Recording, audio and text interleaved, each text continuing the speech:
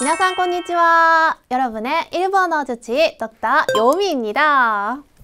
여러분, 코로나가 시작한 지도 벌써 1년이 지났네요. 저도 그렇지만 여러분도 많은 변화가 있었죠.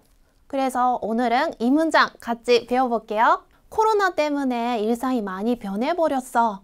자, 이 문장 일본어로 바꿔서 말하면 어떻게 말할 수 있을까요? 같이 확인하러 가실게요.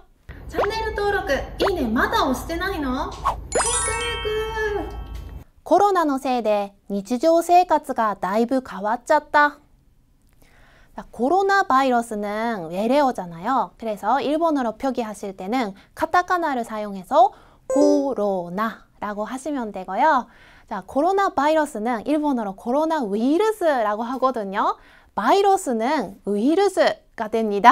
발음이 많이 다르죠. 그런데 회화에서는 뭐 그냥 위르스는 말하지 않고 코로나, 코로나라고 많이 하죠. 세대는요, 부, 보통 그 부정적인 이야기를 할 때 뭐뭐 때문에 또는 뭐뭐 탓에라는 뜻으로 많이 사용해요. 앞에다가 지금처럼 면사가 올 때는 꼭 노가 들어가야 되는 게 잊지 마세요. 그리고 반대로 좋은 이야기, 긍정적인 이야기를 할 때는 오가게대를 쓰시면 돼요. 니지조 생활, 이게 바로 일상생활이라는 뜻이죠. 나이브는요, 간절할 때 쓰는 뜻이에요. 아주라든가 뭐 많이 이렇게 해석하시면 돼요. 일본어에는 간절하는 표현이 굉장히 많이 있죠. 네, 다른 것도 쓰셔도 상관없고요.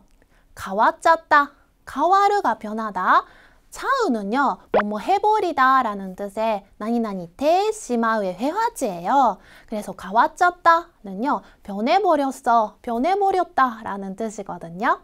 자, 코로나 때문에 일상이 많이 변해버렸어. 다시 한번 일본어로 연습해 볼게요.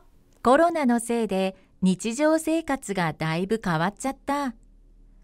コロナのせいで日常生活がだいぶ変わっちゃった.